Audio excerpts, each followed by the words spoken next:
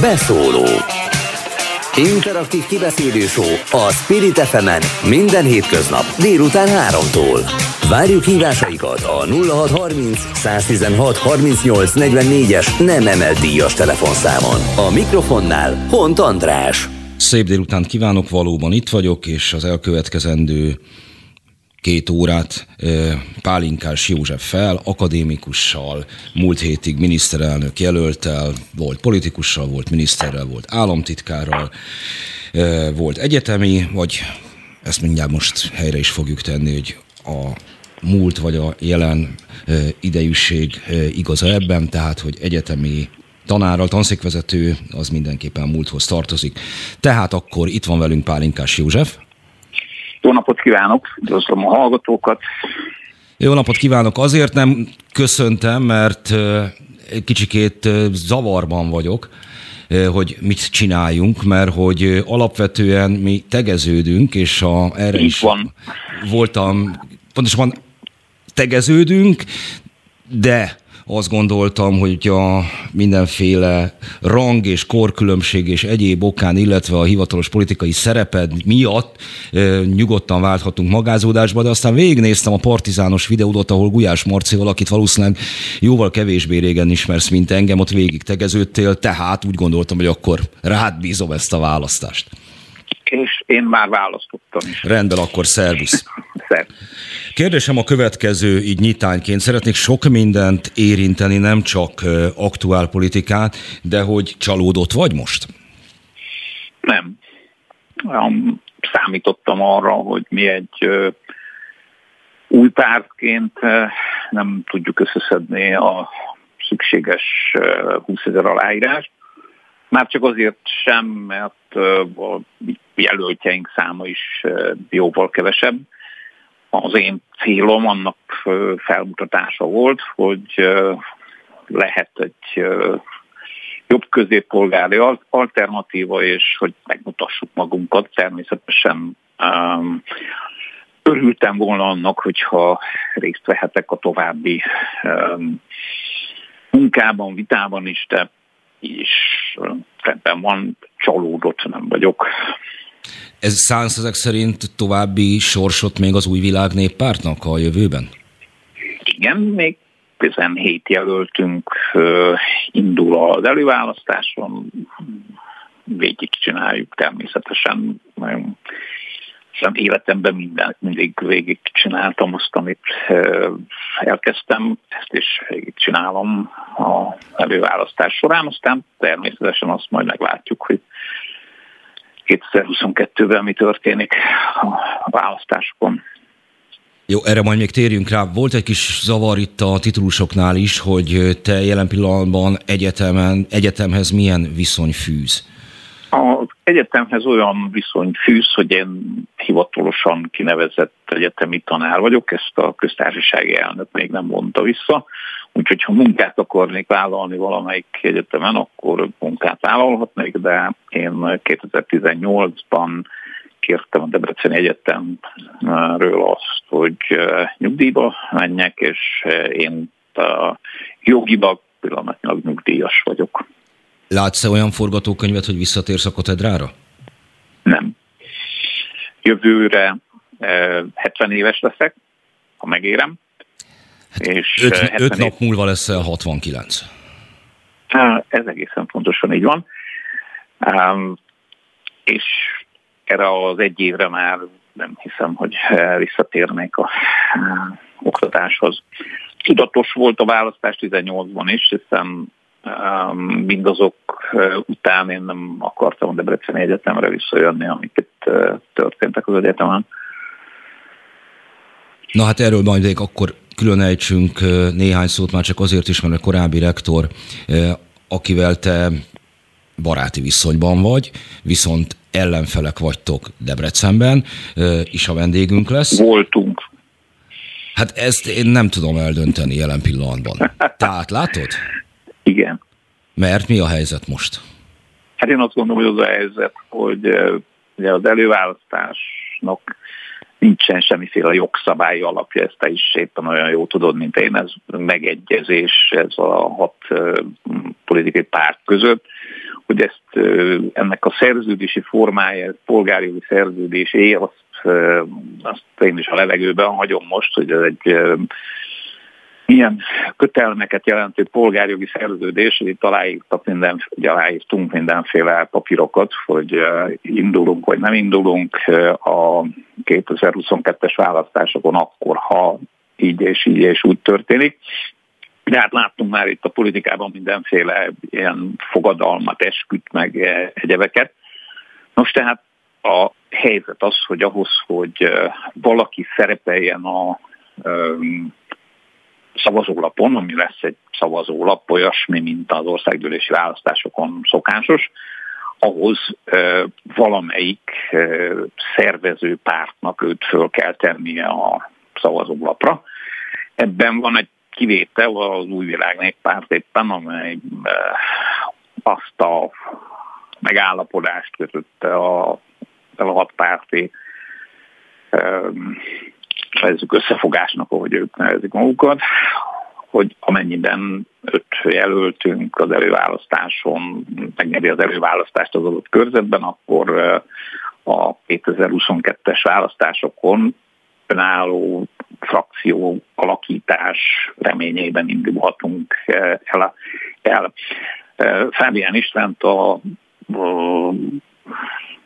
PM, a Párbeszéd Magyarországért jelölte, és a MSZP mm, támogatta. Nem tartod a mutató újadat a magyar politika ütőerén, már csak P-ként emlegetik őket, MSZPP szövetség.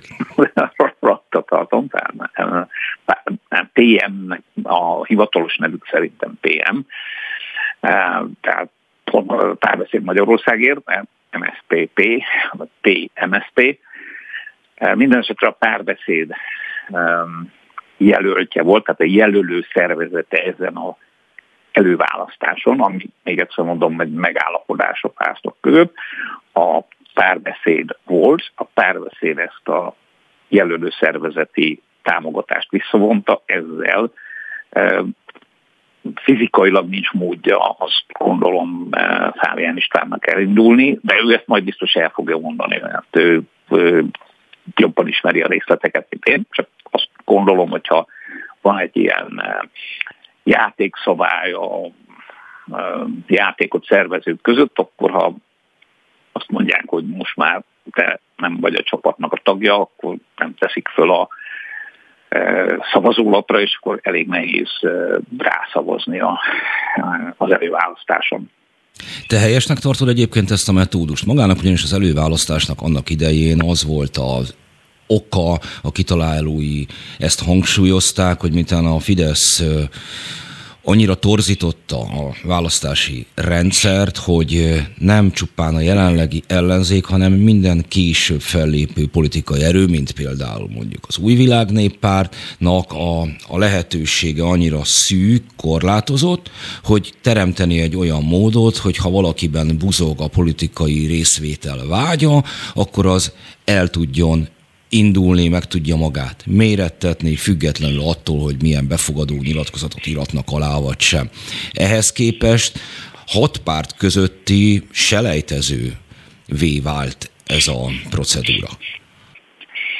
Én nem voltam híve az előválasztásnak kezdettől fogva, mert ez egy ilyen összvér előválasztás, tehát látták, hogy az Egyesült Államokban a elnök választásnál van előválasztás, aztán mondták, hogy milyen jó dolog ez az előválasztás. Ott az előválasztás egy egy párton belül a legtámogatottabb jelölt kiválasztásáról szól.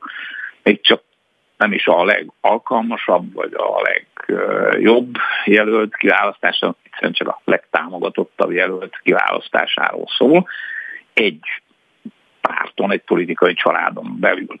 Itt valóban a Fidesz olyan mértékben változtatta meg egyik napról a másikra a választási törvényt, hogy úgy csak emlékeztetőül 27 körzetben kellett jelöltet indítani ahhoz, hogy valaki országos listát állíthasson, és amikor mi elkezdtük szervezni ezt a jobb-közép politikai formációt, akkor még ezt, ezzel a tudattal szerveztük meg, közben változott meg a mi álláspontunk és a előválasztás illetően, mert amikor előbb 50 valamennyire, aztán 71-re emelték azok képviselőjelöltek számát, akiknek el kell indulni, és még emellett vannak mellékfeltételek is, hogy hánynak kell Budapesten lenni, és hánynak kell Szőkének lenni, és hánynak kell Barnának lenni.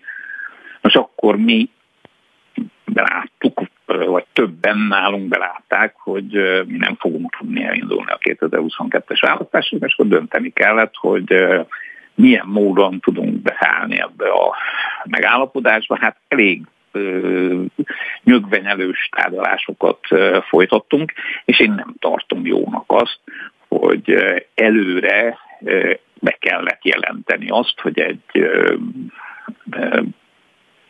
új párt, vagy éppen egy civil szervezet, vagy éppen egy független jelölt, az melyik frakciót fogja majd választani, akkor, hogyha ő ott megnyeri az előválasztást. Szerintem ezzel veszítettek is szavazatokat, mert lett volna olyan független jelölt, akire szívesen szavaznak, aztán majd utána fogják a fejüket, ha nem olyan frakcióba ülve, amit eredetileg gondoltak róla. Ez a frakció választás, ez bizonyos értelemben a választásokon, majd a 2022-es választásokon jelentősége van, hogy ne vesztenek el a töredék szavazatok. A hallgatók nem mindegyik választási szakértő, tehát a, azok a szavazatok, amelyek nem szeretnek mandátumot az egyéni választók közöttben, azok fölmennek egy listára. Na most, hogyha az illető pártnak nincs listája, vagy az illető függetlenként indul, akkor természetesen nincs ezeknek a töredék szavazatoknak hova menni, és ezek ezért elvesznek választás matematikailag, tehát érthető az, hogy 2022-ben azt akarták, hogy a fidesz szemben egy választókerületben egy jelölt, és a fidesz szemben egy úgy tetszik, politikai formáció álljon föl, de ehhez semmi szükség nem volt arra, hogy előre megmondja kiki, hogy ő melyik frakcióba fog beülni. Ráadásul itt még elkezdtek válogatni is, hogy kit egyik ezért azt mondták, hogy ő nem, a másiknak, hogy igen, az egyik párt azt mondta, hogy ő támogat egy körzetben akár három jelöltet is, ami egy kicsit, vagy nem támogatja, hanem befogadja úgymond, akár három jelöltet is, ami megint egy kicsit zavaró lehet a választók számára. Hát összességében ezt nagyon elvitték, igazából véve egy előre letárgyalt választási megegyezés felé. Ez így demokratikusabbnak látszik, de hát ennek a demokratikus látszatnak azért nagyon, ha mögé nézünk, akkor ott azért eléggé azt látjuk, hogy ugyanúgy megegyezésre törekednek, mint a Fideszben, pontosabban rosszabb a helyzet, ugyanúgy felülről irányítanak, mint a Fideszben, mert Fávián István, akit én valóban jól ismerek, hiszen egy egyetemen tanítottunk, sőt 2007-ben akkor még három nagy egysége volt a Debrecen Egyetemnek, volt egy úgynevezett tudományegyetemi korok, ami, ami a, a leánykori neve Kossuth Lajos Tudományegyetem volt, és akkor azt egy úgynevezett tudományegyetemi karok, mint egység elnöke irányította. 2007-ben én lettem ennek az elnöke, engem választottak ennek az elnökének, Fábián István volt helyettesem 2008-ban, amikor akadémia elnökévé választottak, akkor Fábián Istvánt választották utódomnak, és, két, és ez 2008-ban volt, és aztán 2010-ben ő lett a egyetem rektora. Én őt jól ismerem, szakmailag egy elismert kiváló ember, volt, van vezetői tapasztalata. Ezek után engem eléggé meglepett az, hogy tesznek róla nyilatkozatot olyan emberek, akik hát azért, bocsánat, de csak kívülről mutatják meg az egyetemet, hogy ő nem elég, és volt, hogy a rátermettség és a hitelesség. Nem elég hiteles. Hát, nem elég hiteles, de, de szerintem volt a rátermettség szó is előfordult ebben a e, közleményben talán. Azt, hogy támogatott vagy nem támogatott, azt persze így előre nem lehet tudni. Jó, az, hogy ezzel az egész elő, előválasztási kuszasággal, mind amit elmondtál, az, az nem visz távolabb attól az állítólagos céltól, hogy egyetlen körzetben csak egyetlen jelölt mérkőzön meg a Fideszével, ami alapból nem fog előállni, mert a kétfarkú kutyapárt és a mi hazánk az már mindenképpen bejelentette, hogy indulni fog a választáson. Nem, bejelentette, hogy mindenképpen indulni fog a választáson, de hogy ebből a folyamatból kiszoruló helyben ilyen-olyan módon beágyazódott független jelöltek most jól megsértődnek és richtig elindulnak? Nem rejti magában ezt a veszélyt?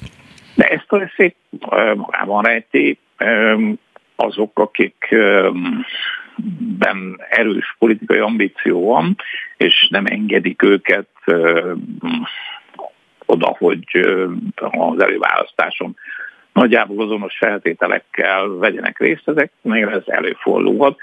Hát én megkockáztatom azt is, bár igazán szép dolog tőlem így a, a hatpárt együttműködése, hogy minket is csak azért vettek be, mert egy kicsit tartottak attól, hogy 2022-ben elindulunk. Említettem már a Partizánnak adott interjúdat. Uh-huh. Ott megemlíted, vagy beszélgettek arról az időszakodról, amikor tisztséget töltöttél be a Fideszben, amiről nekem közvetlen benyomásaim is van. És hogy... Mondd még egyszer ezt a mondatot. Amiről nekem közvetlen benyomásaim is vannak, mármint Igen. arról az időszakról. Ja, ja, ahogy ne lennél, persze és hogy az azt követő parlamenti képviselőségedről, és valami olyasmit mondtál át, hogy ezeket a familiáris, kamarilla viszonyokat te nem, nem láttad át, te ebben rossz vagy, azt is mutattad, hogy ez téged nem érdekel, hogy volt valamiféle elkötelezettséged, jónak érezted a 2002 előtti kormányzást, részszerepet vállaltál akkor abban, hogy a Fidesz kinyíljon és megerősödjön, de de hát olyan viszonyok közé kerültél, amit nem látsz át, és nem is szeretsz. Körülbelül jól foglalom össze? Nagyjából igen. Tehát azt, hogy a Fideszben hogyan születnek a döntések, azt, azt én nem láttam át 2000 mondjuk 6 előtt. És azért csempésztem ezt most ide, hogy nincsen ugyanilyen érzésed, mint amikor az ember bemegy a, bemegy a konyhába és szembesül azzal, hogy a, hogyan állítják elő az étteremben a séfek a, a menüt? Hát, igen, azt arról beszéltünk, hogy tegeződünk, akkor most talán keresztneveden is szólított. András, van egy olyan mondás, hogy azt nem jó látni, hogy hogyan készül a virsli és a törvény. Na most hát azt se jó látni, hogy hogyan áll elő egy olyan helyzet, amelyben a jelenlegi túlhatalmat megpróbálják, megpróbáljuk korlátozni. Van egy olyan érzésem, hogy itt a háttérben folynak olyan tárgyalások, és folynak olyan megbeszélések, amiről nekem fogalmam sincs. Azt azonban tudom, hogy, hogy ilyenek folynak. Korábban pedig azt, hogy ennyire centralizáltan történnek a döntések, azt akkor én nem láttam. Annak volt egy demokratikus máza. 98 és 2002 között szerintem még demokratikus eljárása is volt. Még a 2006-os országgyűlési választások előtt is volt valamennyi demokratizmus a Fideszben. Ez gyakorlatilag 2010 után vált teljesen centralizált szervezetté, amitől kezdve a Fidesz elnöke gyakorlatilag saját kezűleg válogatja ki az országgyűlési képviselőket, tehát abba hogy ki lesz országgyűlési képviselő, igen kevés szerepe van a helyi Fidesz szervezetnek, sőt, hát a Fidesz... Sőt, a helyi Fidesz szervezetnek nagyon kevés köze van ahhoz, hogy ki lesz a helyi Fidesz szervezet. Ez azért így precíz.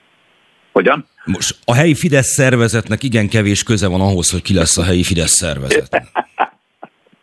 így is lehet mondani. Jó, de a kérdés arra vonatkozott, hogy most nincsen ugyanolyan érzésed, hogy belekerültél valamibe, általad egyértelműnek tekintett célok érdekében egyértelműnek tekintett viszonyok szerint, és ehhez képest teljesen más vagy némileg más van a háttérben. Van ilyen érzésem, de most abban az értelemben szabadabb vagyok, hogy vagy gyerek egyéni körzetben, vagy nem. Ha valaki nyer egyéni körzetben, akkor ha ő autonóm személyiség, akkor ő kellően autonóm lehet. Nekem biztos nem fogja megmondani senki, hogy egy adott törvény esetében ha nem értek vele egyet, akkor azt miért kell mégis megszavaznom, az se, hogy egy vitában mi legyen a véleményem. De kétségtelen, hogy a, ebben a úgynevezett összefogásban van két domináns párt, a DK és a Jobbik, és hát vannak még, akik a legkülönbözőbb módon motoroznak itt ebben a politikai, ezen a politikai pályán, és hát az elsődleges céljuknak azt azt látom, hogy ők a politikai pályán maradjanak nem pedig azt, hogy hát, hogyan történik majd. Ténylegesen a visszaállítása egy, egy jogállami rendszernek. Ebben a legkülönbözőbb dolgokat elmondják, amiket én nem nagyon hiszek, hogy az úgy megvalósulhat. Azt gondolom azonban, hogy egyfajta, hát megint csak itt lehet mondani, hogy egy kicsit naívan gondolom ezt, egyfajta szakértelemnek, egyfajta morális kiállásnak csak kell lennie, mert hát enélkül akkor a, a politika tényleg egy teljesen átláthatatlan, csak a politikusok érdekeit szolgáló valami válik, és, és az ország érdeke az, az az teljesen áttérbe szorul. De nem, e felé megy egyébként részben a, a világ is, hogy ilyen alaktalan politikai tömbök ide-oda hullámozva az élet minden területét ellepve folytatnak egyre kevésbé átlátható, egyre kevéssé körülhatárolt téttel bíró küzdelmet? Így, így, van, azt gondolom, hiszen az Egyesült Államokban jól láttuk, hogy hogyan zajlott a 2016-os, azt is, hogy a 2020-as elnökválasztás.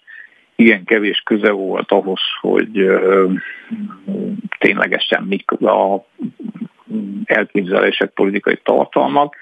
Valóban a modern hírközlés, a közösségi média és egyáltalán a média előállított valamit, ami, amiben a vélemény formálóknak, tehát azoknak, akik úgy formálnak véleményt, hogy értik is, hogy miről van szó, mert van nagyon sok véleményformáló, hogy influencer, akinek hát sok fogalma nincs a világról, legfeljebb uh, érdekesen tud ugrálni egy kamera előtt, vagy uh, olyan szövegeket tud mondani, amivel hirtelen fölkelti az érdeklődést, és akkor nagyon sok követője lesz itt ott vagy ott. Sajnos egyre inkább megy a politika abba a irányba, hogy nem tényleges meggondolások, hanem inkább érzetek és ezen politikus által keltett illúziók érzelmek vezetik az embereket. Ezért éppen ezért gondolom azt, hogy jó lenne, ha azok, akik értik, vagy akik jobban értik, hogy a világban mi zajlik, azoknak ebbe nagyobb beleszólása lenne, de úgy látom, hogy azok, akik értik, hogy miről van szó, és nagyobb beleszól, azok nem, közül sokan nem akarnak ebben részt venni, mert hát, különböző okokból, legtöbbje azért egyébként, mert átláthatatlanak, és talán ezt a szót is kibonthatjuk, hogy és nem akkor megsérteni senkit, tehát túl mocskosnak látja ezt az egészet ahhoz, hogy ebbe bele fogjon. És hát vannak esetek, amik mutatják, hogy, hogy olyan emberek, akik tehát egyébként van presztízsük, közösség megbecsült tagjai, azokat az embereket egyik napról a másikra be lehet nullázni a közvélemény egy jó része előtt, mert a közvélemény egy jó része az nem e, tud az ő tevékenységéről, hallja azt, hogy e, valamelyik e, bértolnok az bele száll az illetőbe, és akkor akkortól kezdve ő egyfajta ilyen hát, fekete bárányá válik itt a közvélemény szemében, mert a közvélemény nem igazán a a tartalom úgy, mozgatja. Nem a tartalom eh, határozza meg, te most kénytelen leszek megbántani embereket. Az újságírásban ma vannak olyanok, akiknek nagyon messze kellene ettől lenniük, mert nem újságírók, hanem közönséges bértolnokok és hazudozók. Tehát az emberek még hozzá vannak szokva, hogy a televízióban azt mondták, hogy akkor az úgy van. Miközben olyanná változott a világ, hogy a televízióban, vagy éppen a közösségi médiában megjelenő dolgoknak az igazsághoz az égvilágon semmi köze nincs. Jó, három dolog jutott eszembe mindenről. Három dologról szeretnélek, amit most elmondtál azzal kapcsolatban megkérdezni. Gyorsan lebriefelem, hogy mivel kapcsolatban.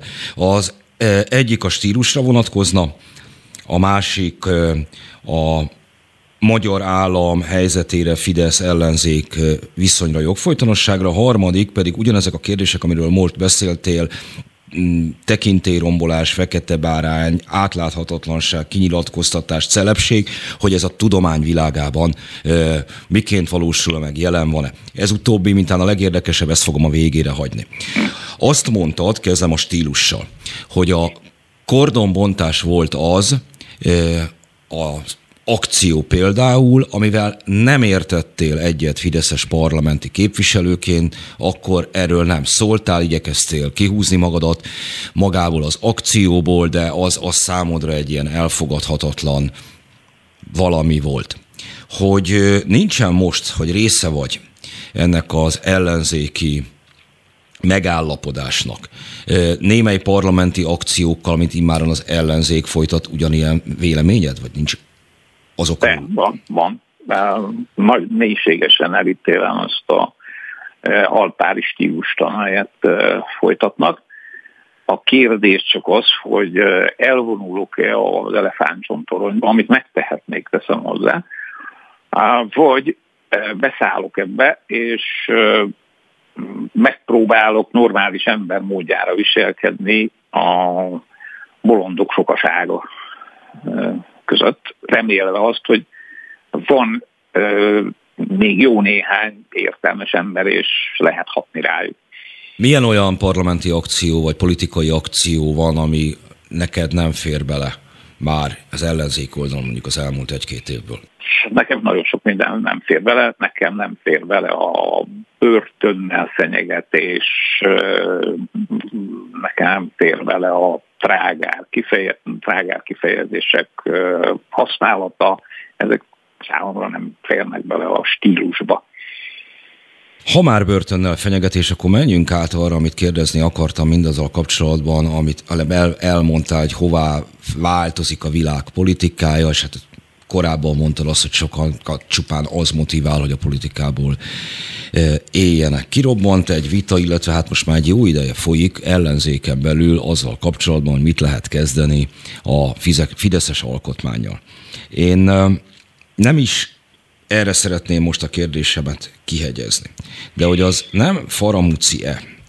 Te az az elmúlt tíz évben egy darabig akadémiai elnök voltál, aztán a innovációs hivat élén, egy ügynökség tevékenykedtél, nem politikai szereplő voltál. De hogy politikai szereplőként megkérdőjelezem azt a rendszert, ahol politikusi jogon jutok javadalmazáshoz, az, az számodra milyen? Ez számomra mondjuk azt, hogy nem, tehát én nem kérdőjelezem meg ebben az értelemben az rendszert. Én nem tudom elfogadni azt, hogy a alkotmányra vagy alaptörvényre 2012 óta többszörösen esküdtevő emberek hogyan fogják 2022-ben egyáltalán megszerezni a parlamenti mandátumot. Ahhoz ugyanis, hogy a parlamenti mandátumot valaki megszerezze, ahhoz esküdt kell tenni. Amíg nem teszi le az esküt, addig ő nem parlamenti képviselő, akár hányan x be akármit, akármilyen papíron. A parlamenti képviselőknek tehát le kell tenniük az esküt. Most itt megfogtál egy kicsit, mert e, mindent én sem tudhatok. Nem tudom, hogy az alaptörvényben rögzítve van-e például a parlamenti képviselői esküszövege, az a, gyanú, a gyanúm, hogy igen. Márpedig akkor az egyik miniszterelnök, jelölt, miniszterelnök aspiráns azt mondta, hogy hát nem teszi le az esküt, ha most, vagy más esküszöveget mond el. Most ha a alkotmányban rögzített, alaptörvénynek nevezett alkotmányban rögzítve van, hogy ez a parlamenti képviselői esküszövege, akkor ha valaki más esküt mond el, akkor ő nem parlamenti képviselő, hogyha elmegy valaki házasságot kötni, és amikor megkérdezik, hogy akarod-e feleségedül, és azt mondja az illető, hogy nem, akkor nem lesznek házasok. Tehát a parlamenti képviselőknek meg kell tenniük az esküt, és az eskü után pedig a, hozzá kell látni, ha többségben van, akkor hozzá kell látni azokhoz az átalakításokhoz, amelyek az adott törvényi keretek között végrehajthatók. Na most nyilván azért mondtam az adott törvényi keretek között, mert természetesen vannak trükközések, hát a, a, a Fidesz mióta trükközik már a törvényozással. Azt azonban én nem tudom támogatni, hogy kimondja valaki, hogy van 199 képviselő, tehát 101 képviselővel 98 ellenében, ugye már többség van a parlamentben, és akkor a 101 képviselő azt mondja, hogy mindaz, ami eddig volt, nem ér, ezt én, ezt én nem tudom elfogadni, akkor sem, hogyha úgy láttam, hogy mind a öt miniszterelnök aspiráns azt mondja, hogy ezt itt fogják csinálni, hogyha nem lesz meg a kétharmad, akkor kimondják, hogy azok a törvények nem érvényesek. Mit teszik ezt az Európai Unió tagjaként, ahol a jogállamiság alapkövetelmény.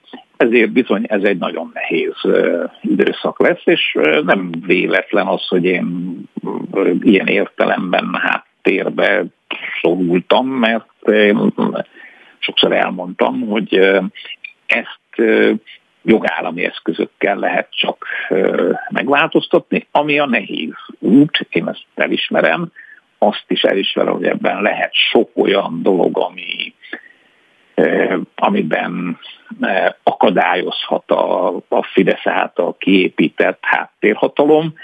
Ennek ellenére ezt csak ilyen módon lehet megvalósítani. Van még egy módja, azt a módját sem szeretném, azt forradalomnak hívják, de hát ahhoz azt gondolom, hogy a sok fotel forradalom már kevés lesz, mert nem fognak az emberek az utcára menni azért, hogy a jogállamisági normák azok, azok helyreálljanak. kicsit hosszan, tehát az, az álláspontom, hogy a 2022-es választásokat meg kell nyerni, és amit a törvények lehetővé tesznek, azokat a változtatásokat megtenni. Itt most sejtetni se akarok, meg ilyen homályt kelteni se. Természetesen egy kormánynak a kezében vannak olyan eszközök, amelyekkel a jog határáig elmenve, vagy a határvonalig elmenve, amit a jog enged, kikényszeríthet bizonyos dolgokat. Értem. Mondok egy, mondok egy példát. A egyetemek átalakítása, az egyetemi mondjuk az, hogy vezetés, vagy az egyetemi finanszírozás átalakításában például a kormány kezében marad továbbra is a költségvetési finanszírozás, és kikényszeríthet vele dolgokat, amelyek nem lesznek nagyon hát, finom dolgok, lehet, hogy azt mondja valaki, hogy ez már a zsarolás határa, de a törvény azt lehetővé teszi, hogy a következő kormány azt mondja, hogy az egyetemi finanszírozást ezeknél ennél az egyetemnél megemeli, annál az egyetemnél pedig lecsökkenti aztán. E, ezeket természetesen lehet használni egy e, kormánynak, is jogszerűen persze, de azt én nem tudom elfogadni, hogy e, valaki leteszi az esküt a jelenlegi alkotmányra, mert még egyszer mondom, ha nem teszi le, akkor nem parlamenti képviselő, majd utána azt mondja, hogy ez, ez, ez nem érvényes. Na most annyira ugyan egyébként, amit elmondtál a képviselő esküről, hogy nem az eskü letétel, hanem az eskü okmányoknak az aláírása az, amelyik, eh, mely aktus elkezdi a, a parlamenti képviselői tevékenységet. No, ha már szóba kerültek az egyetemek, mondtam, hogy a harmadik, eh, amit kérdezni szeretnék tőled a mondandód után, az nem most a politikára vonatkozik már, majd térünk vissza előválasztásra is, meg még egy csomó minden másra a magyar politikai élettel kapcsolatban, de most kalandozunk el egy kicsikét. Beszéltünk arról a folyamatról, hát megpróbálom akkor következőképpen összefoglalni, ahol a, az érveket ilyen akciók helyettesítik, az minél harsányabb, az indulatok pótolnak mondjuk elvi elkötelezettséget, és így tovább egy ilyen látszatszerűségben, amely, az, amely viszont nagyon erős érzelmekkel telített, telik el a közéleti életünk, az időszakunk, ez a, ez a, a közéletünk, és egyre inkább így van ez világszerte is. Hogy a tudományos életben te nem látsz ennek jeleit, tudós celebek, megalapozatlan ex-katedra kijelentések, a kételj helyett, a diskurzus helyett, a megbeszélés helyett, a hát nem is tudom helyett. Nincsen egy ilyen tendencia. Megjelent ez a tudományos életben is, és tudományos életben is vannak celebek, akik sok kárt okoznak, mert adott esetben belevisznek kormányokat, országokat, finanszírozó ügynökségeket olyan tudományos projektekben, amelyek nem kellően megalapozottak, de jól hangzanak. Tehát sajnos ott is megjelent a celebség, de, de nem hasonlítható a közéletben, a közpolitikában megjelenő mondjuk azt, hogy alátámasztatlan állítások tömkelegéhez képest. Tehát azért a tudományos életben néhány esettől eltekintve keresztül kell menni egy olyan szűrőn, ami, ami ezeknek nagy részét kiszűri. Van itt is egy veszély, és visszaterelem hogy a politikára egy kicsit a dolgot, mert amit látunk, abban én azt a nagyon nagy veszélyt látom, hogy létrehoznak olyan intézményeket, ahol teljesítmény nélkül lehet elérni címeket, rangokat. Ma Magyarországon sok olyan egyetemi tanár van, akik az egyetem közelébe se leszabadna engedni. Olyan tudományos teljesítménnyel neveztek ki egyetemi tanárokat, ami hát, nagyjából nulla, tehát szóba se jött volna az illető, senki soha senkinek soha eszébe nem, jut, nem jutott volna, hogy őt előterjessze egyetemi tanári kinevezésre. Tovább megyek. Jogokat fognak adni olyan intézményeknek, mondjuk a doktori fokozat, PhD vagy PhD szokták, így is mondjuk, úgy is mondjuk, tehát doktori fokozatok odaítélése, akinek az égvilágon semmi köze nincs a tudományhoz. Erre már láttunk számtalan példát, nevek említése nélkül tudták mondani olyat, aki bölcsész létére valamilyen mezőgazdasági vagy agrár területen szerzett PHD-t mondjuk két év alatt, amiben alig hiszem, hogy két év alatt olyan szakértői vált volna valamilyen bölcsész kollega a mm, adott területnek, hogy az ott doktori címet jelent. Tehát én attól tartok, hogy abban a, azokban az országokban, és sajnos Magyarország ilyen ország, ahol a címeket, rangokat, azt, azokat nem a szakma ítéli oda. Tehát a szakma ma még például a tudományos életben, és az akadémiára egy kicsit visszatérve, mondjuk az akadémián az akadémiai doktori címet, azt egy igen kemény és szigorú eljárásban ítélik oda. Aki ezen átmegy, az arra nyugodtan állíthatjuk, hogy a tudományos életben tett valamit. Most a, ahogy én látom, a Széchenyi és Kossuth díjakat egyre inkább hát mondjuk azt, hogy lojalitás alapon ítélik oda, majd egy idő után aztán senki nem tudja, hogy az illető az, hogy vett Széchenyi díjas vagy Kossuth díjas, és ugyanez a helyzet előáll a tudományos fokozattal, a PhD vagy PhD fokozattal is, és olyan emberek fognak ilyen címeket kapni, akik akiknek semmi, semmi valós teljesítményük nincs. A következőknek pedig már ők fognak ilyet adni.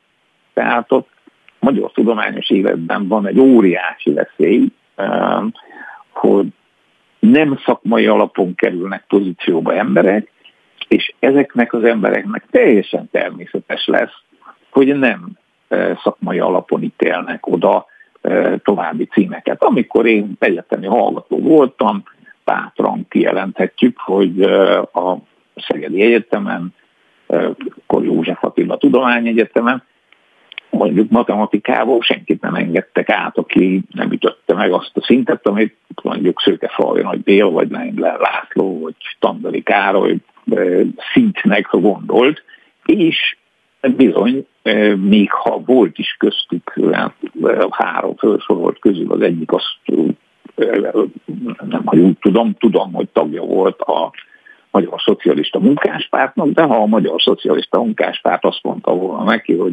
engedje át ezt a hallgatót akkor is, hogyha nem tudja a függőink folykogosságának definícióját, akkor valószínű azt mondta volna, hogy nem engedem át, mert ez, ez olyan dolog, amiben ne tessenek eh, beleszólni.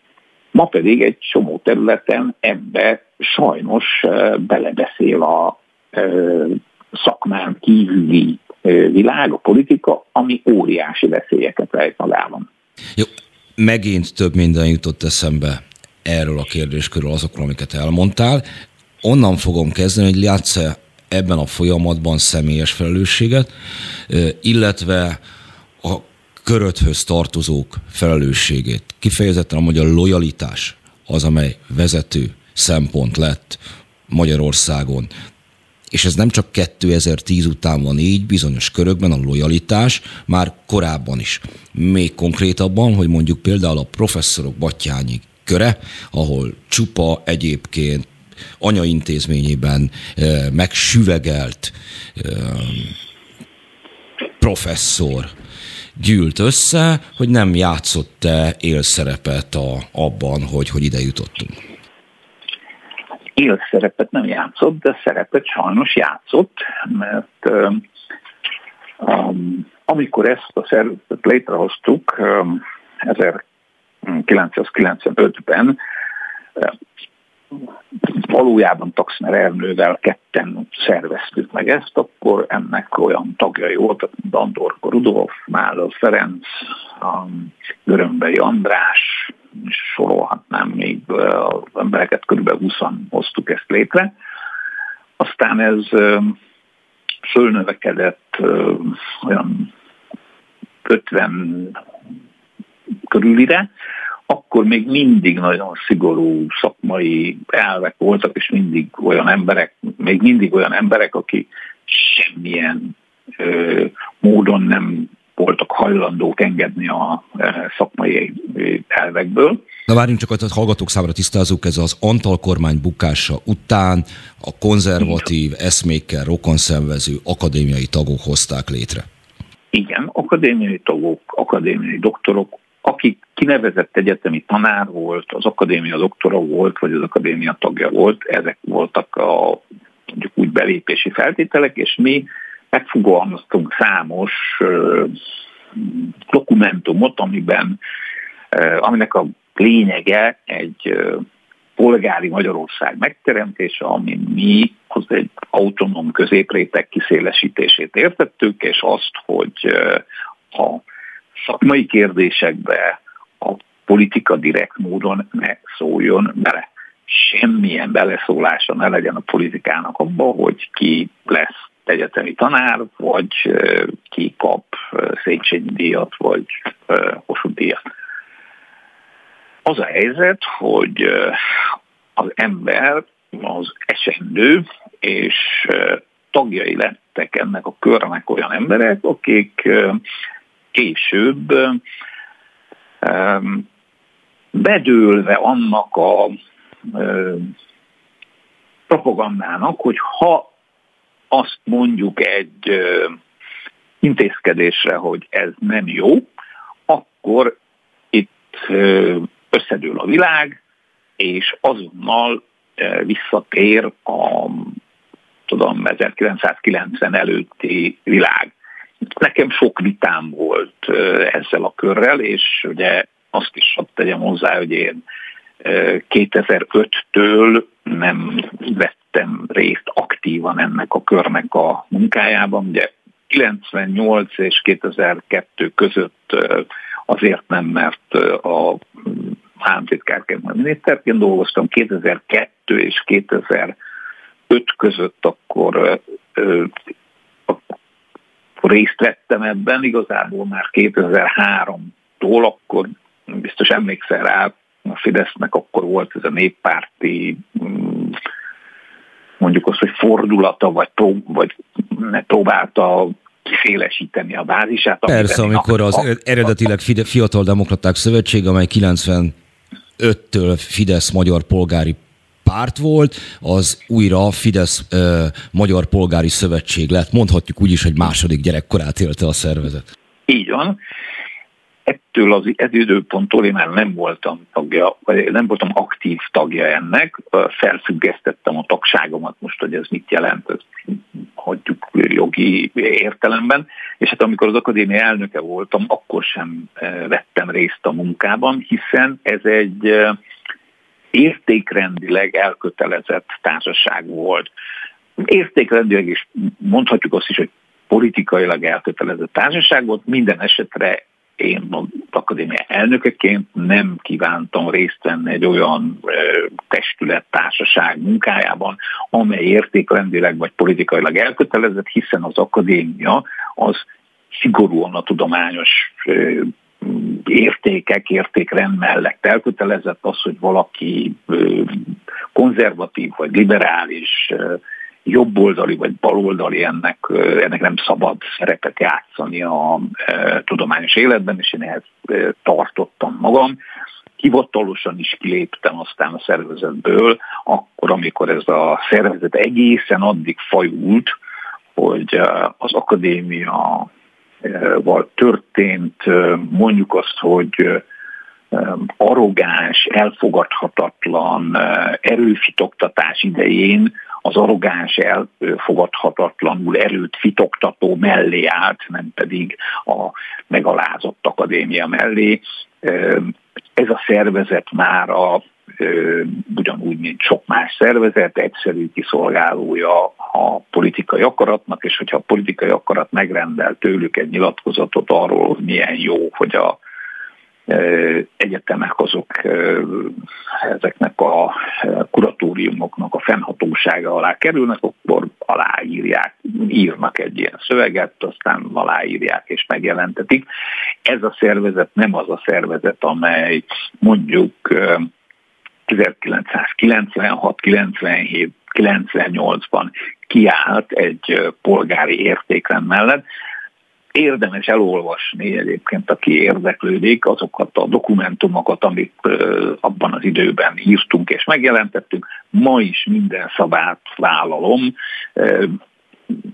aktív résztvevője voltam még a szöveg megfogalmazásának is.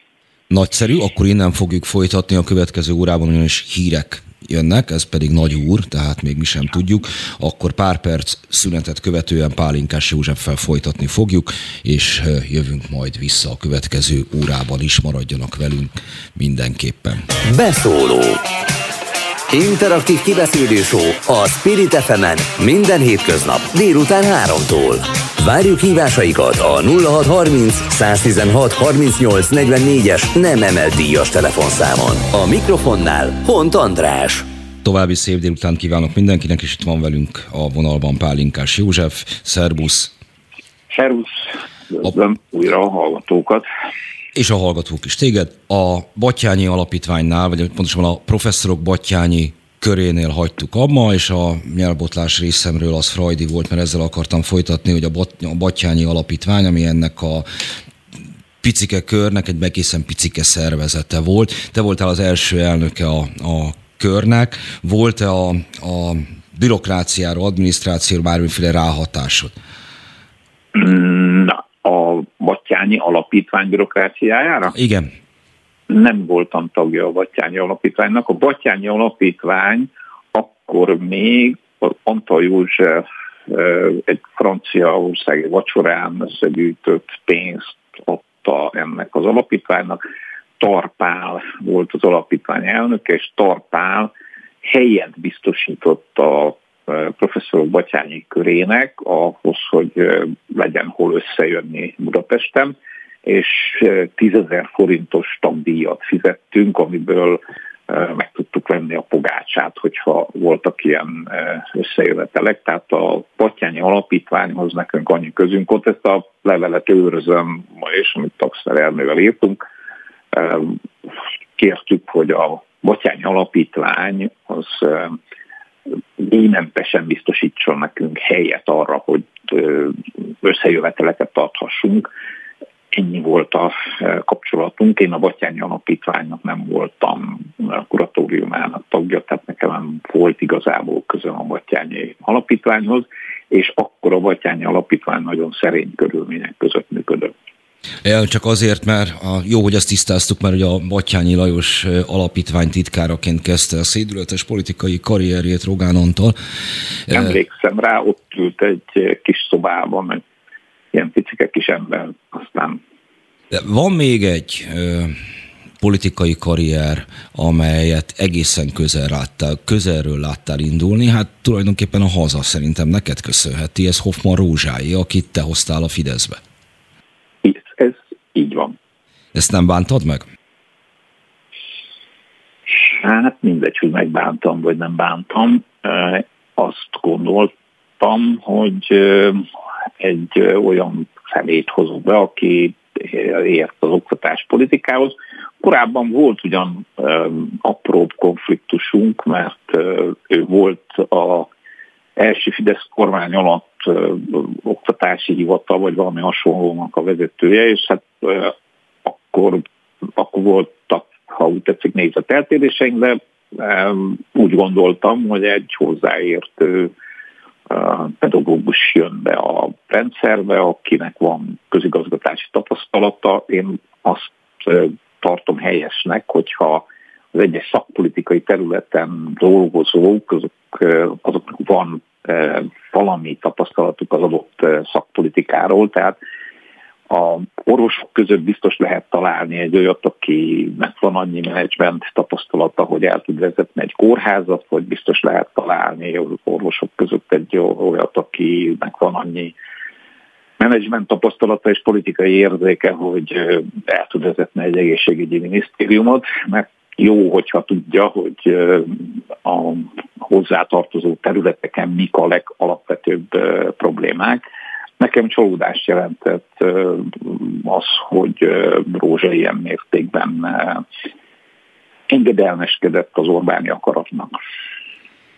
Nem tudom, hogy mennyiben arról van csupán szó, hogy engedelmeskedett.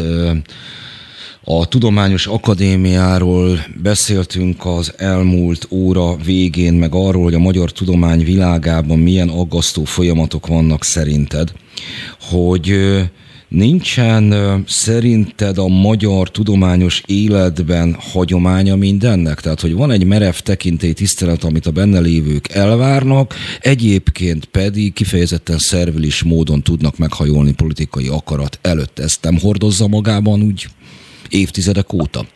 Lehordozza. Ez a, a tudományos világ a szervezeti kérdésekben sokszor meghajolt a politikai akarat előtt. A tudományos világban, ami, ami a, a szívek közepe, az az, hogy a tudomány olyanra, amiről meg van győződve, hogy az nem úgy van, arra nem, nem mondja azt, hogy az úgy van.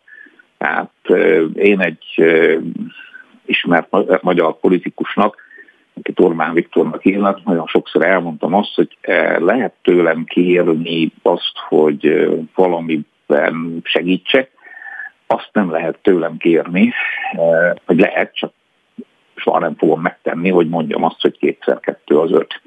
Tehát a tudománynak ezt a belső, nagyon erős ragaszkodását a tudományos tényekhez, szándékosan nem igazságokat mondok, mert tudományos igazságok között később kiderül, hogy egy kicsit másképp vannak. Egyébként csak az derül, hogy egy kicsit másképp vannak, nem az, hogy teljesen ellentétesek.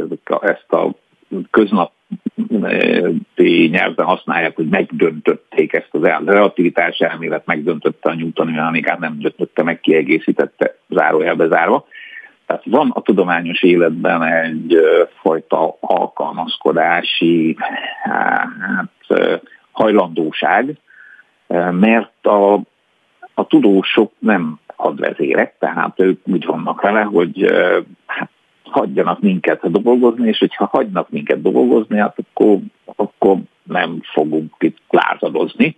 Ugye a akadémiától ilyen arrogáns módon elvett kutatóintézetek, amelyek azért mondom ezt az arrogáns módon elvettek, mert azzal, hogy a kutatóhálózat nem az akadémiához tartozik, az a önmagában nem lenne baj, mert van olyan ország, ahol ez nem az akadémiához tartozik. Németország például. Baj. Például Németország, igen, elég jól működik a Helmholtz, vagy a Max Planck intézet hálózat is. Ugyanakkor Magyarországon ez jól működött az akadémia fennhatósága és az akadémia titkársága, mint költségvetési szerv és mint felügyeleti szerv alatt és hát két év kiesett, mert a kutatók azzal voltak elfoglaló, hogy mi lesz velük, nem pedig azzal, hogy mit kutassanak a genetika vagy a részecske fizika területén. De ez az alkalmazkodási hajlandóság, ez, ez, ez létezik, főképp intézményi szinten létezik. Voltam sokféle intézményvezető, érzem, meg tudom azt, hogy egy intézmény vezetője az mindig arra is figyel, hogy az intézményeknek ne legyen baja belőle, mert ha az intézménynek baja van, akkor azoknak az embereknek, akiknek a vezetője, akiket rábíztak, hogy úgy mondjam, azoknak lesz belőle baja. Meg hát vannak megalkobók, akik, akik akármilyen kis előnyér is hajlandók a, a politikai alkukra. Sajnos ettől nem mentes a tudományos élet sem. Vannak üdítő kivételek, amikor legutóbb a kutatási pályázatok bírálatában beleszólt a politika, akkor a Csádi László felállt, és azt mondta, hogy ő ezt már pedig nem. Oké, okay, de amiről most beszéltünk például a kutatói hálózat, ami lehetne itt ott amott, az együtt. De mi a helyzet az akadémiával, mint köztestülettel, hogy strukturálisan nem konzerválja azokat a viszonyokat, vagy segíti elő, amelyekről szóltál.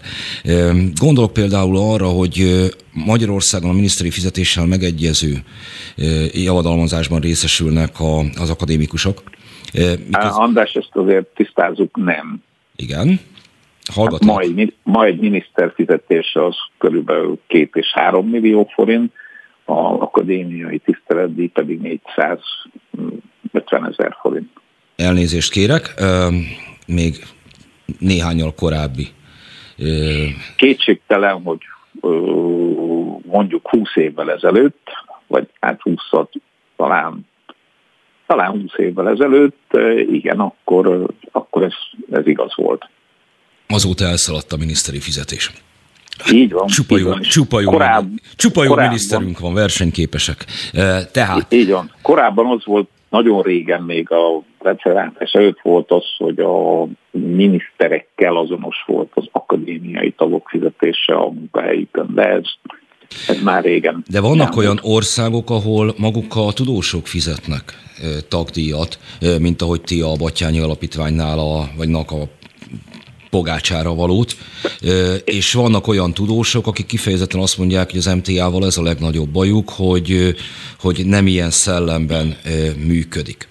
Szóba hoztad Mádl Ferencet, vagy említetted a nevét, akit én személyesen nagyon tiszteltem, meg kedveltem, Isten nyugosztalja, de ő például a, a, még a szocializmusban a Tudományos Minősítő Bizottság tagjaként, nem kis titkáraként, nem kis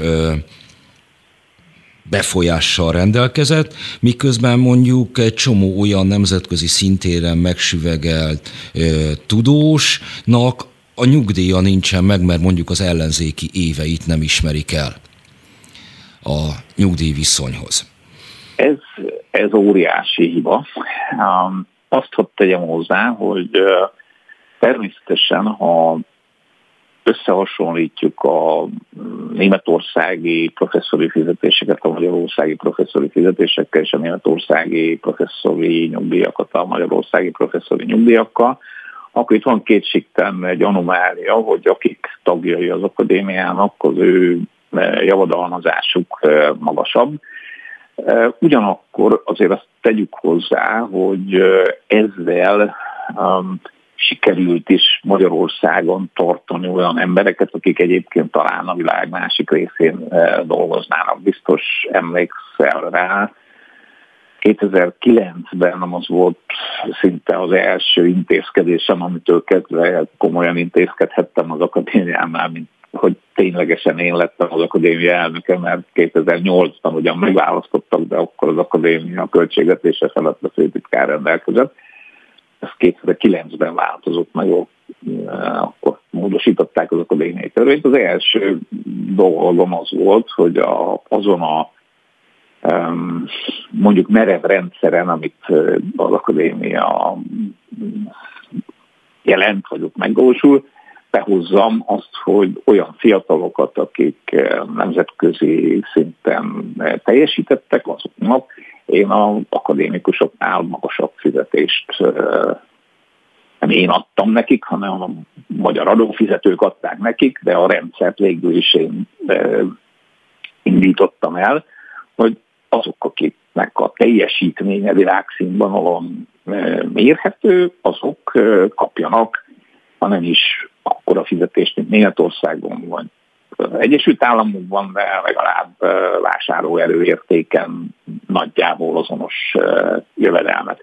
Tehát az egy anakronizmus kétségtelenül, hogy egy tudós társaság tagjai azok, mm, azok jövedelmet kapnak, és nem tagdíjat fizetnek, de ez az anakronizmus mindaddig meg fog maradni, amíg a magyar tudományos életben és a magyar felsőoktatásban nem lesznek olyan bérek, amely lehetővé teszi azt, hogy a magyar hogy azok, akiket beválasztanak az akadémia tagjai közé, azok azt mondhassák, hogy akkor kifizetik a, egyébként én is tagja vagyok az Európai Akadémiának, én is befizettem a, most már azt hiszem nyugdíjasként csak 50 fontot, egyébként század, de lehet, hogy 75-öt nem tudom pontosan.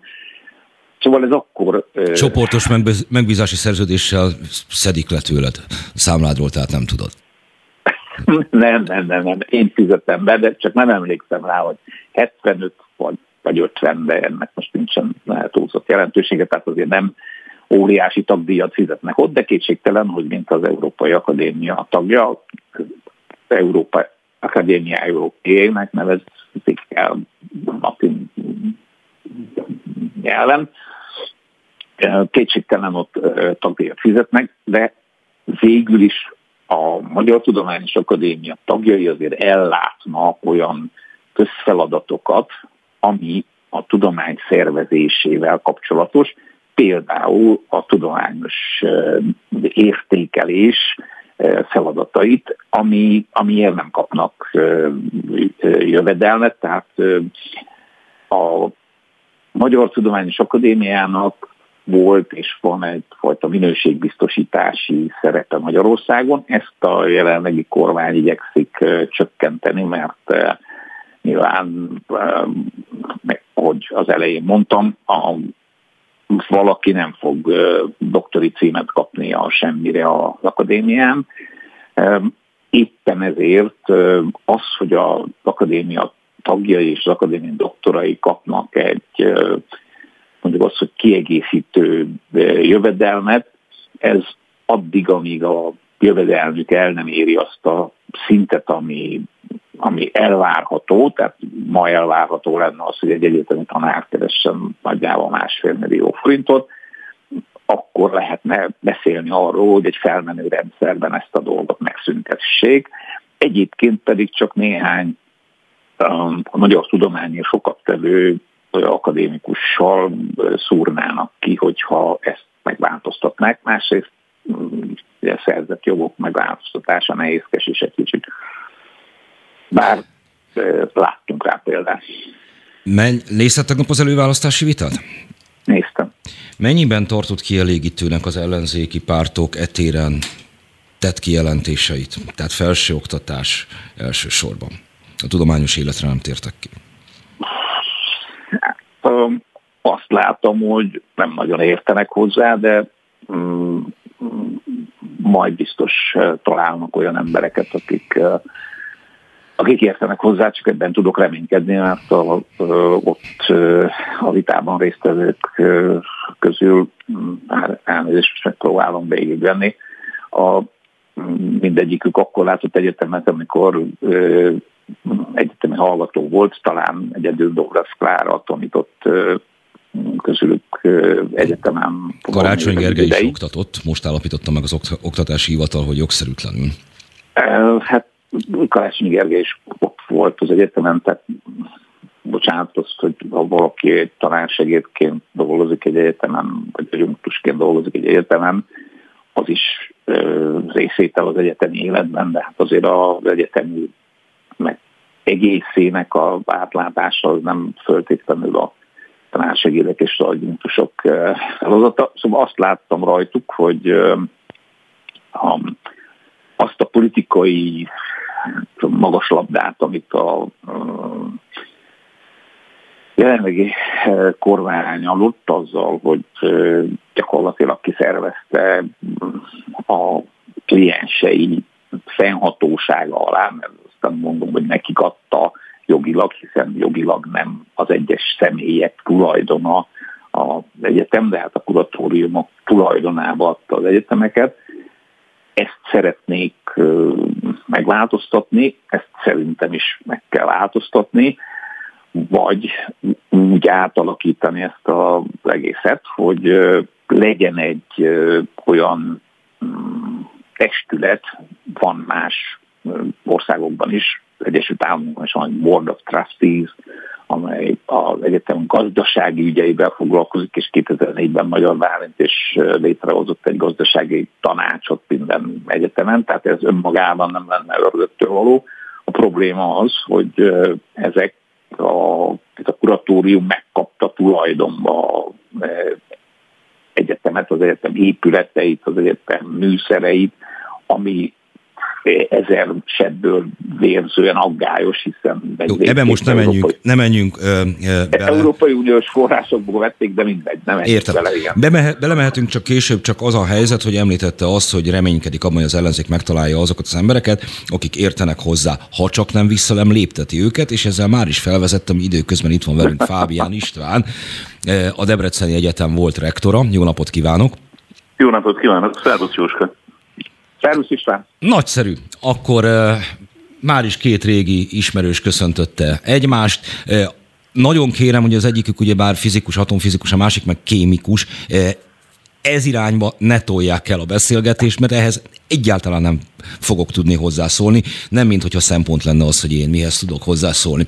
Na de, Pálinkás Józseffel beszélgettem az előző órában az előválasztásokról. Én őszintén szólva egy kicsikét tanácstalan vagyok, hogy akkor ő most jelölte, avagy sem Debrecenben. Igen, én is így voltam ezzel körülbelül egy órával ezelőtt. Így egy órával ezelőtt közöltem velem az Országos Előválasztási Bizottság, hogy miután a jelölő párt egyik elnöke, társelnöke visszavonta a befogadó nyilatkozatot, ugye a frakcióba való befogadó nyilatkozatot, ezzel engem lényegében kizártak a választásokból. És akkor ezt ön tudomásul veszi? Nem tudom, hogy tud-e más hát, csinálni. Természetesen más nem nagyon tudok csinálni, ugyanis a jelenlegi szabálykönyv szerint csak az indulhat ezen a választáson, akit valamelyik párt befogad, úgy értve, hogy majd ha létrejön a frakciója és az illető nyer, akkor oda befogadja. Miután nekem ilyen aláírásom hirtelen megszűnt, ez azt jelenti, hogy én innentől kezdve nem sok mindent tehetek ebben az ügyben. És melyik párt vonta vissza? Önt a párbeszéd jelölte relatileg, de hát mind az MSZP, mind a párbeszéd adhatott befogadó nyilatkozatot önnek. Igen, igen, egy kettős jelölés, egy kettős jelölés volt a párbeszéd, illetve az MSZP. Ugye én el kellett dönteni, hogy melyik párt frakciójához írok alá. Én a párbeszédet választottam, hozzátenném egyeztetve a szocialisták elnökével is, és hát ennek megfelelően a párbeszéd mondta vissza és azt nem lehet tudni, hogy melyik társelnök jelentette ezt. De pontosan lehet tudni, pontosan lehet tudni, vagy legalábbis feltételezem, hogy ő, ő volt Karácsony Gergely, hiszen ő tartotta egyrészt velem a kapcsolatot, vele állapodtunk meg, és ő tájékoztatott még pénteken arról, hogy megvonják a támogatást. Csalódott Karácsony Gergelyben? Hát ez egy, egy, hogy is mondjam, csak egy, egy olyan kijelentés, amit lehetne még fokozni, igen, nem ezt gondoltam róla. Pálinkás József, előbb volt egy ilyen kis, hát, hogy is mondjam, fura, fura felhangú megjegyzése Karácsony Gergelyről. Mit gondol róla ennek az ügynek a fényében? Vagy mit gondolsz róla, bocsánat, csak itt egy részben tegeződés, részben magázódás, egy kicsit skizofrén vissza. Mi Andrással tegeződünk, mert elég régóta ismerjük egymást. Jó, hát tegeződhetünk mi is, hogy teljes legyen a kör, András. Rendben, akkor tegeződünk Na. mindenkivel, ettől még én nem voltam soha, sem akadémiai elnök, sem egyetemi rektor. De nem is az a lényeg, hogy ki mi volt, hanem eh, ki mit eh, csinált, és eh, ki mit képzel a jövőről. Azt gondolom, hogy ez, ez gyengesége le, hogy valaki egy párt elnökeként szalát adja arra, hogy sőt, hát, javíts ki is, tár, hogyha nem így van, ők kértek téged arra, hogy indulj el. Az sem titok, hogy mi beszélő viszonyban vagyunk, tehát még korábban is beszélgettünk politikáról, jó, mondhatni baráti viszonyban vagyunk. Tudtommal ő, ők kértek téged arra, hogy indulj el ezen az előválasztáson azt egy pártelnök részéről meglehetős gyengeség, hogyha őt bármivel arra rá tudta venni valaki, hogy ezt a döntést meghozza.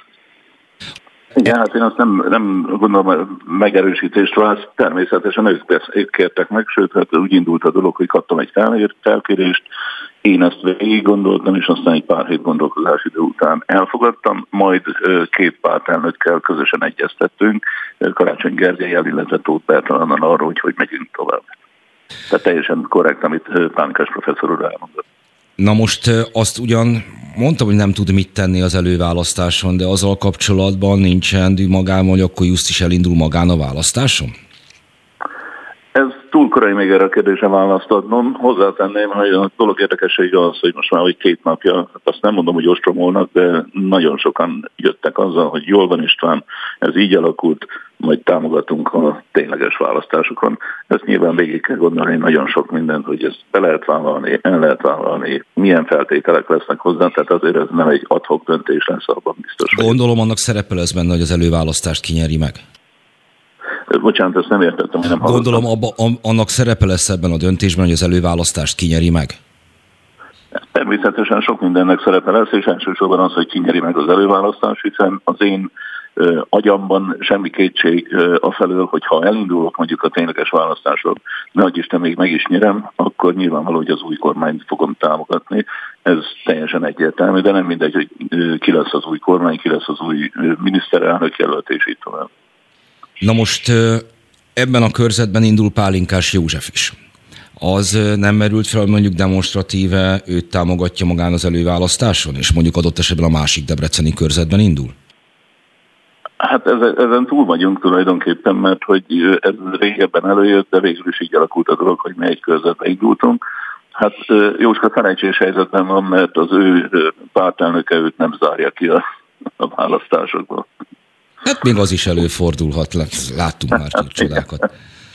Ezt, ugyanezt a kérdést én Fálinkás Józsefnek is felteszem, nem akarok én itt debreceni koalíciókat összeboronálni, de hogy azt el tudod képzelni, hogy, hogy te megnyered az előválasztás az egyik körzetben, adott esetben Fábián István támogatásával, és ha mind a ketten elindultak magán a választáson? Én, a, én magán a választáson biztos, hogy nem indulok el. Én csak akkor indulok el, ha itt megnyerem az előválasztást mert azt gondolom, hogy ez teljesen esélytelen, hogy egy egyéni körzetben valaki nyerjen független jelöltként, és csak független jelöltként lehet elindulni. Én hoztam egy döntést, és nagyon ritkán szoktam megváltoztatni a döntéseimet. Volt már olyan, megváltoztattam, mert meggyőztek róla, hogy jobb úgy, de mi kötöttünk egy megállapodást, én az megállapodást akkor is betartom, ha más nem tartja be. Az a megállapodás úgy szól, hogy ha egyéni, ha most mi elindulunk az előválasztáson, akkor a 2022-es választáson nem indulok el akkor se, ha nem én nyerem meg ezt a körzetet. Én ehhez tartani fogom magam. De a kérdés arra vonatkozott, hogy ha te megnyered a saját körzetret, Igen. attól még a másik körzetben e, Fábián István indulhat, illetve még az a lehetőség is előállhat, hogy te megnyered a körzetret, és Fábián István pedig függetlenként, ellenfeledként indul ugyanabban a körzetben. Hát ez már az Bo- Bocsánat, szabad itt közbevágnom, ez utóbbi biztos, hogy nem. Ez utóbbi biztos, hogy nem. Tehát ha Jóska megnyered a választást, én már most mondom, hogy akkor nem fogok elindulni. Ez teljesen biztos. Na, hát akkor ez, akkor ez már is egy ö, ö, konkrétum. Az el... Hát mi az Istvánnal azért eléggé ugyanolyan nézeteket képviselünk egy csomó kérdésben, föltehetően nem mindenben, de például a felsőoktatás tudományos kutatás kérdéseiben biztos, és még számos kérdésben az, hogy úgy alakult az előválasztásnál, ez az előválasztás zűrzavara egyébként, mert alakulhatott volna úgy is, hogy Debrecen, ami nagy egyetemi város, és hát az egyetem a legnagyobb munkáltató, azt hiszem Debrecenben, most már, hogy a kórház hozzátartozik mindenképpen. Tehát alakulhatott volna úgy is a dolog, hogy mondjuk Debrecenben Szárnyán Isten indul az egyik körzetben, én indulok a másik körzetben, és akkor Debrecennek van két hát, egyetemi professzor és megfelelő mondjuk azt, hogy vezetési tapasztalattal is rendelkező jelöltje. Hát a előválasztási zűrzavar miatt ez, ez nem tudott kialakulni. Helyben vagyunk. A Ezt mind a kettőtöktől kérdezem. Debreceni Egyetem. Ez kifejezetten az egyik büszkesége a jelenlegi kormánynak.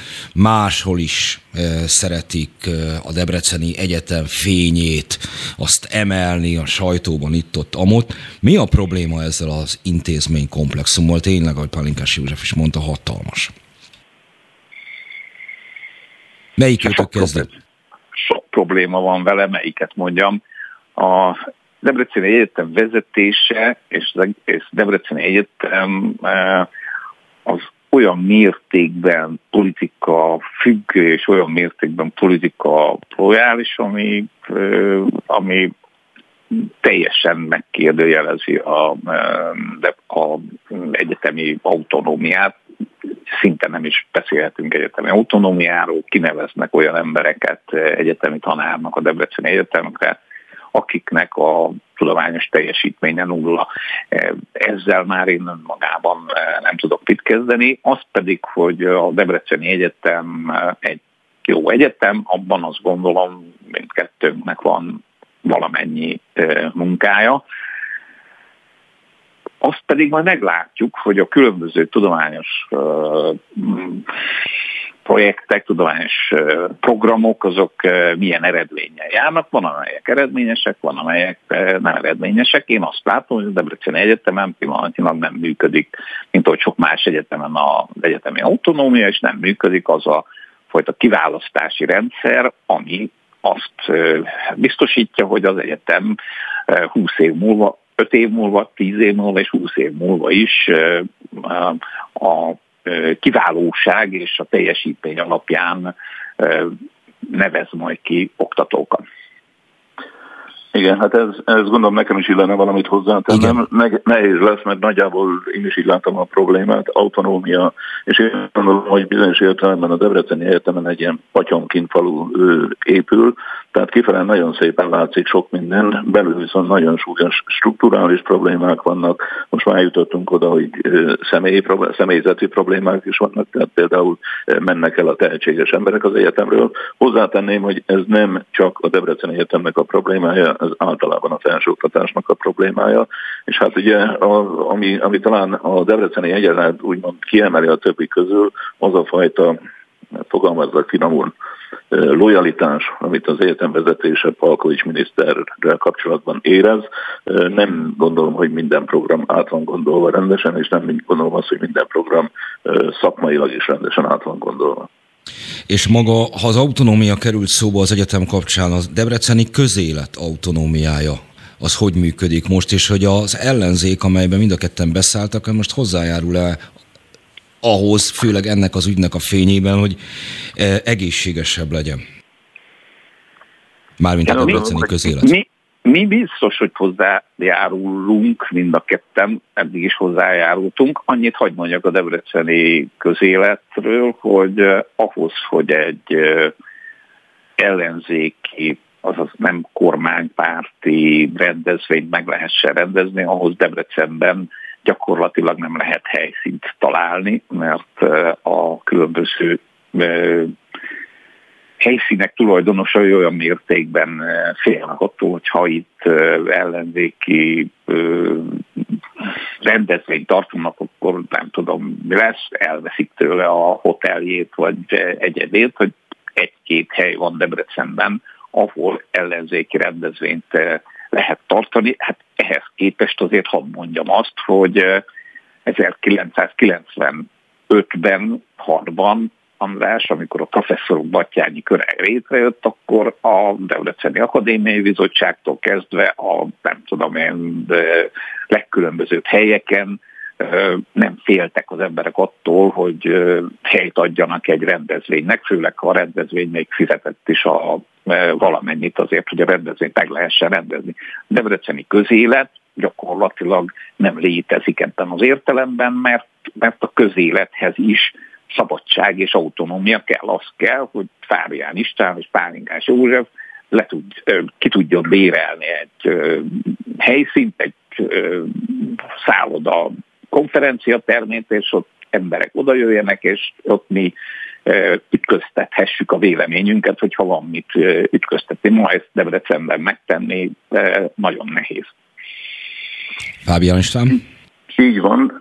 Én azt tenném hozzá, hogy Debrecenben persze a sokszínűség uralkodik, a narancssárga bármilyen árnyalatát elfogadják, és semmilyen más szint nem.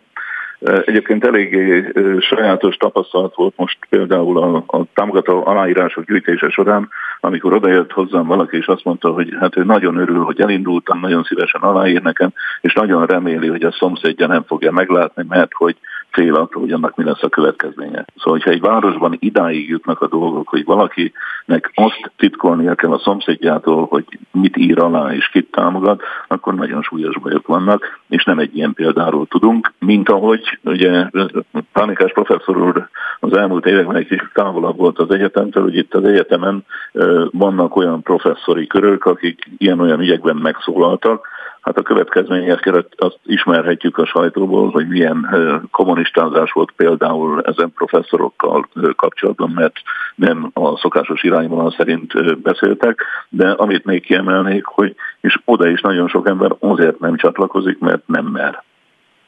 De ennek ellenszere az, Pálinkás Józseffel az elmúlt órában többek között erről beszéltünk, hogyha mondjuk az ellenzék is hasonlóan centralizált és adott esetben zavaros, vagy nem teljesen őszinte motivációk szerint játszik.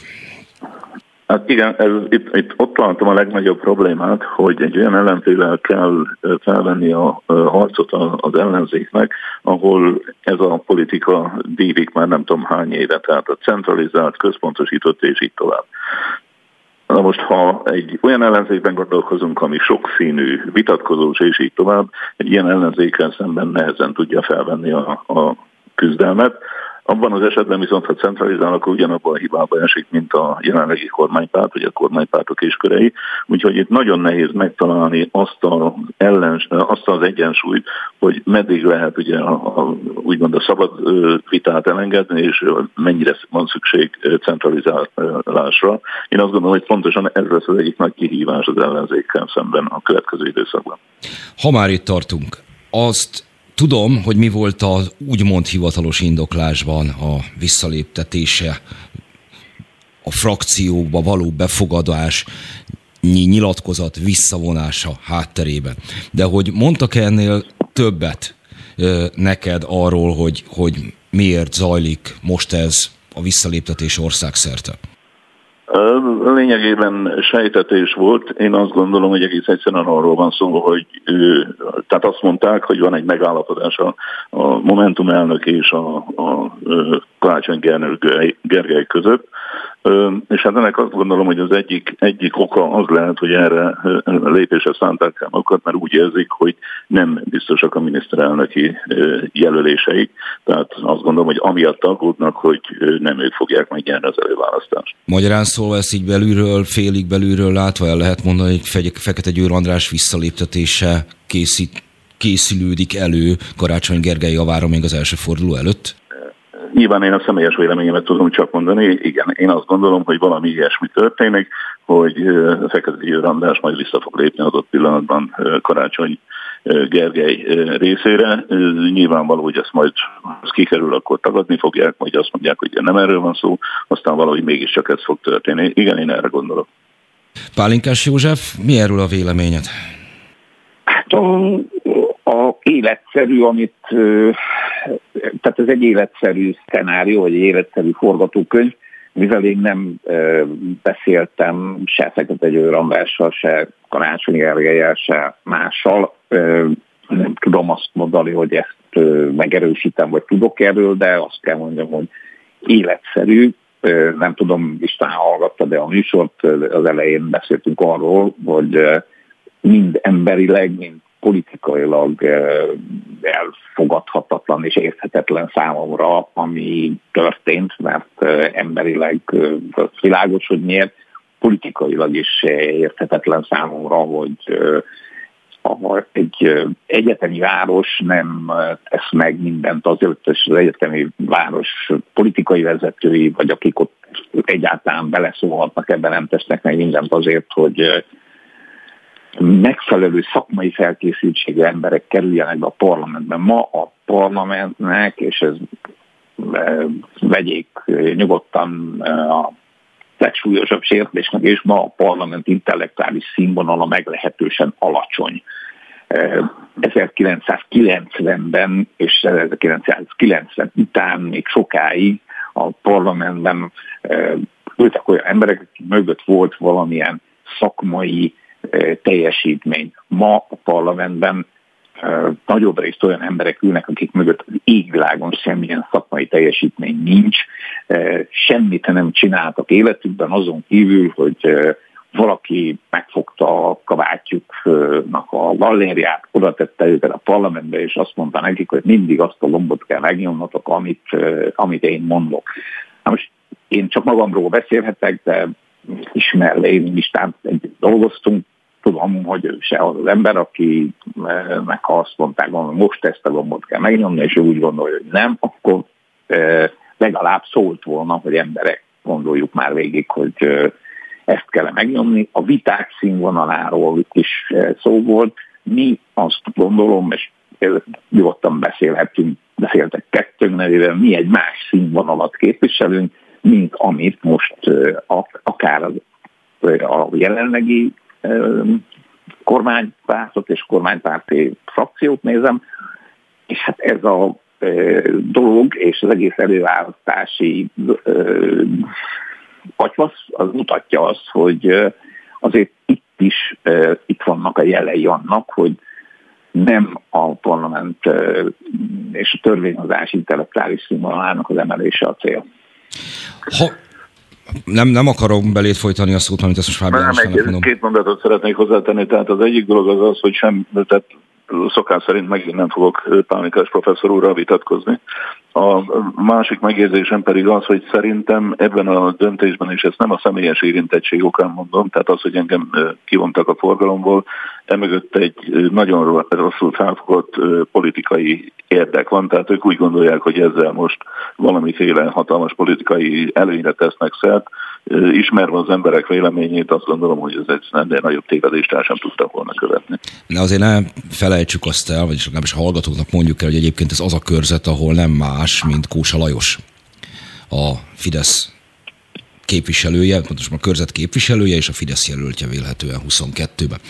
No de, Beszéljünk akkor egy kicsikét a, a miniszterelnök jelöltekről ennek fényében. Pálinkás József már nem az, állva maradtak öten, hát hogy most Fekete Győr András meddig, azt nem tudjuk. Kit tudtok elképzelni ebből a választékból miniszterelnök jelöltnek, hogy Fábián István számára mindezek ellenére változatlanul Karácsony Gergely, vagy úgy gondolja már, hogy már nem, és te mit látsz a, a versenyből való kiesésed után József arról, hogy ki lehet a legalkalmasabb jelölt. No, akkor miniszterelnök jelöltek. Az a kérdés az nem egy egyszerű kérdés. Én azt gondolom egyébként, hogy a, most fekete Valóban nem egyszerű, és kellően bonyolultan is raktam föl. Igen, de én azért megpróbálok egyszerű választ adni. Tehát én, az, én is azt kezdeni, hogy akkor vegyük ki Fekete Győrt ebből a képrátból. Valamilyen szinten azt gondolom, hogy az állva maradtak, biztos, hogy el tudják látni a miniszterelnöki posztot. Én a tegnap nyújtott teljesítményük alapján azt gondolom, hogy Dobrev Klára, Márkizaj Péter a, két olyan jelölt, aki, aki felmutatta azokat a kvalitásokat, amikkel egy miniszterelnök jelöltséghez. Nem volt az gyakorlatilag sem, Karácsony Gergely esetében pedig egyfajta bizonytalanságot éreztem.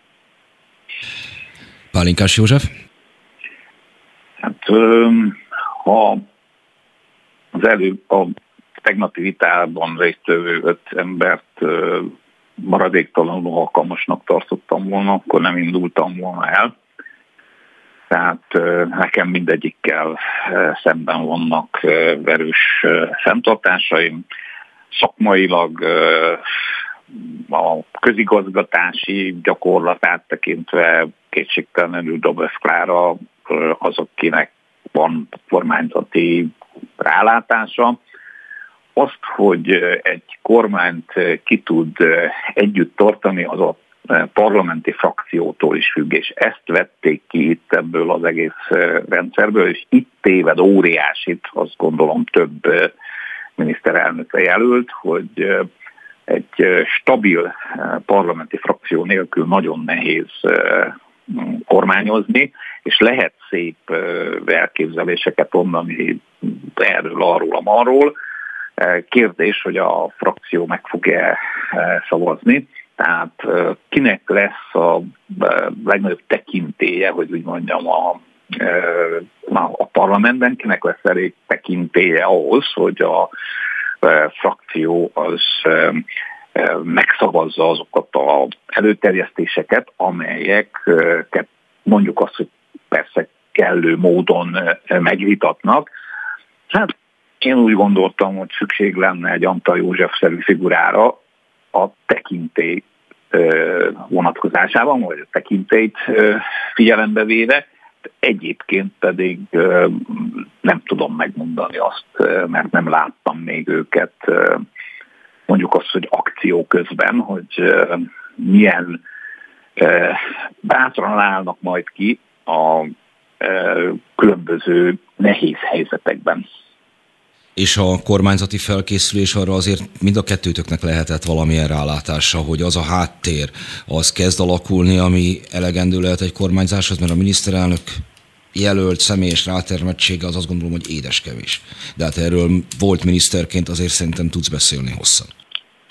Hát nagyon hosszan tudok róla beszélni, hogy az apparátus és a mögötte lévő szakmai stáb az, ami igazából véve döntéseket előkészít. Erre hadd mondjam azt, hogy a 98 és 2002 közötti kormány előterjesztéseinek egy jelentős részét Müller Gyuri készítette elő, aki 90 előtt is a minisztériumban vagy a miniszterelnökségen dolgozott.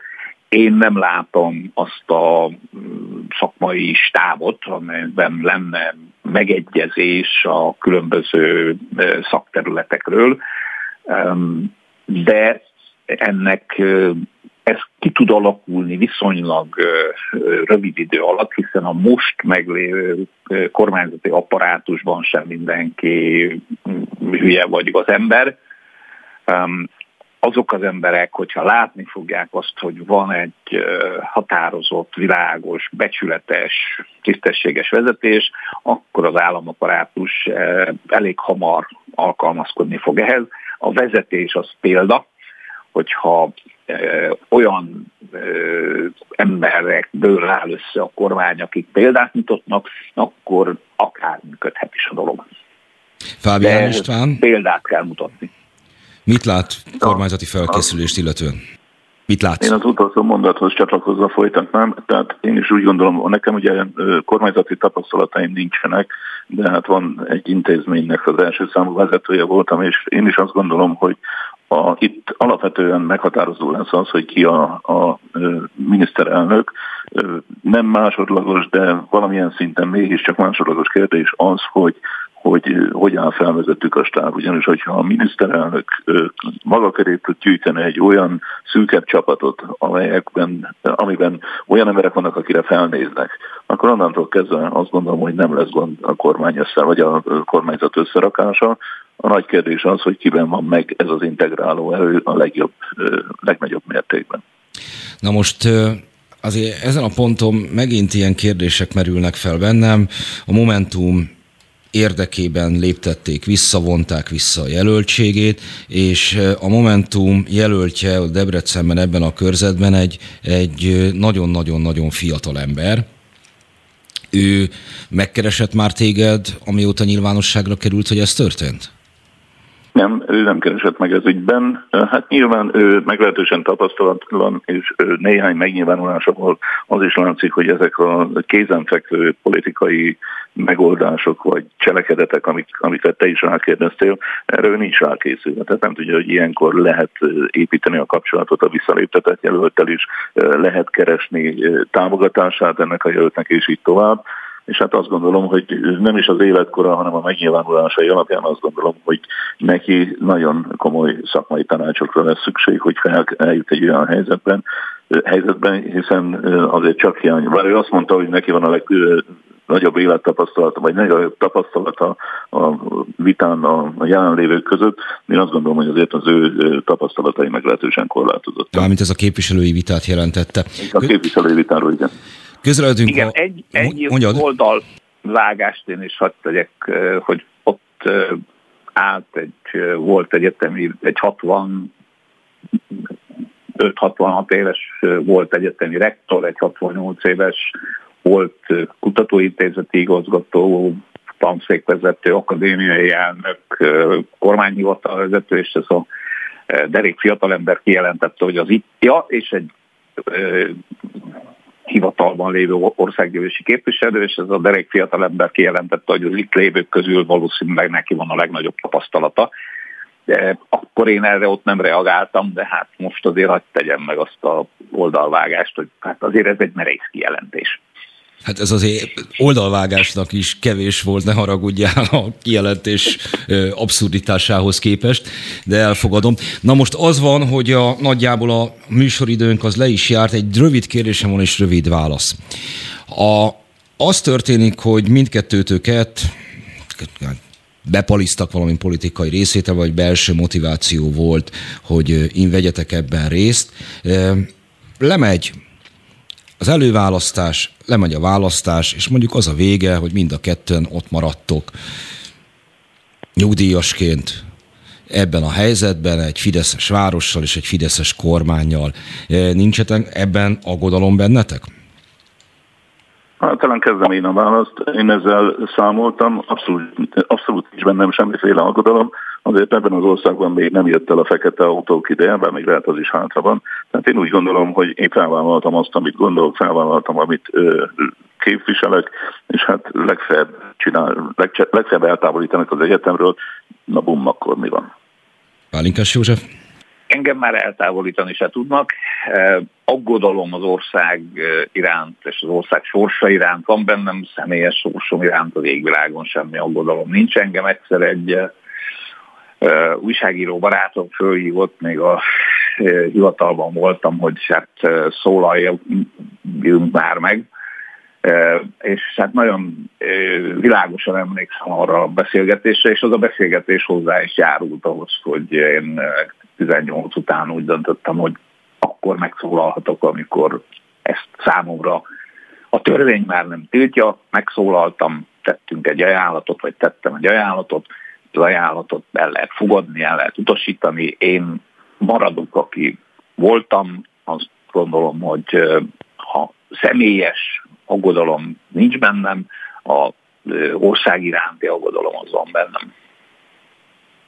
Nagyon szépen köszönöm, mármint a elmúlt két órát, mert itt a műsoridőnk végére értünk. Annyit még, hogy Pálinkás József azt mondta az első órában, hogy amit nem jó látni, az az, ahogy a virslés a törvény készül. Nem tudom, hogy a debreceni készítésével kapcsolatban most eh, milyen élmények érhették a hallgatókat. Mindenesetre mind a kettőtöknek köszönöm, hogy itt voltatok velem, és a hallgatóknak Fábián István, a Debreceni Egyetem volt rektora, eh, visszavont párbeszédes képviselőjelölt, illetve Pálinkás József volt akadémiai elnök, eh, aki volt miniszterelnök jelölt, viszont ő még képviselőjelölt az előválasztáson volt a vendégünk. Köszönöm szépen, hogy itt voltatok, szervusztok, a hallgatóknak meg további szép délutánt kívánok.